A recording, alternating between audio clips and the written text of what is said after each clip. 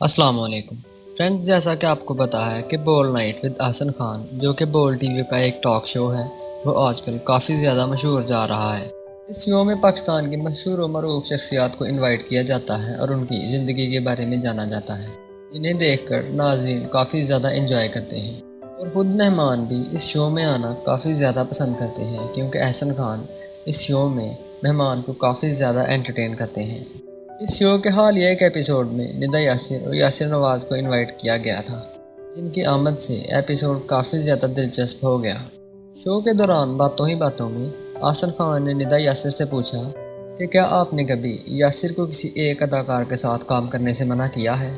اس پر ندا یاسر نے حیران کن طور پر جواب دیتے ہوئے کہا ہاں کیونکہ میں ایک بیوی ہوں۔